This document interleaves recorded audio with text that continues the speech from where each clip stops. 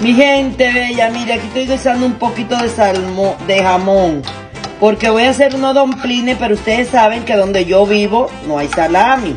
Que por lo regular los domplines van con salami o con bacalao. Pero ustedes saben, mi gente, miren, le eché salsa, le eché un poquito de aceite, ajo, lo condimenté, ustedes saben cómo. ¡Ay, qué rico!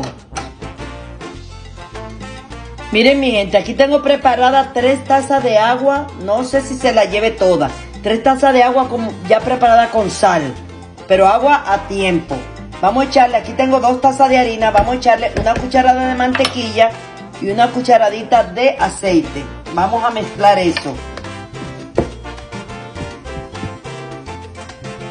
Y le vamos enterrando el agua poco a poco, poco a poco porque la harina no puede quedar muy blanda y van mezclando hasta que ustedes saben se le da una consistencia, o sea, no tiene que quedar muy blandita la harina.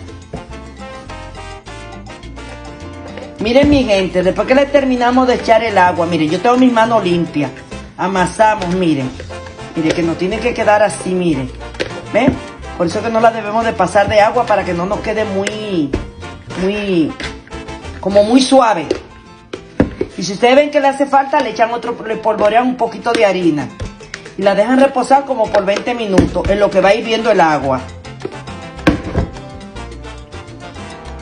Y miren mi gente, qué linda quedó la masa, miren, para hacer los domplines.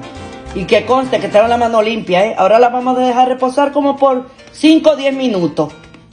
En lo que el agua hierve. ¡Ay, qué rico!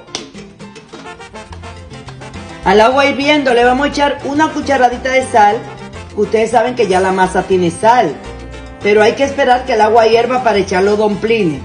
Para que después, ustedes saben, no se nos vuelva un merequetén.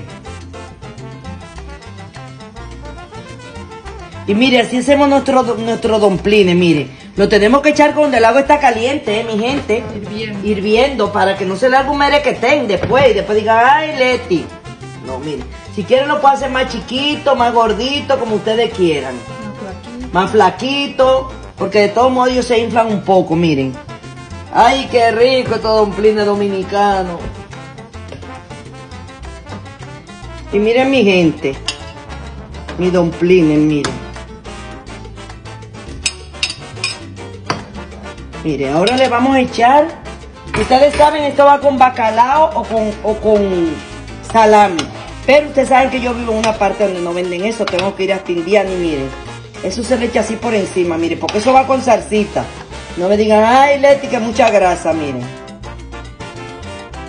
Ay, qué rico. Cocinando con Leti.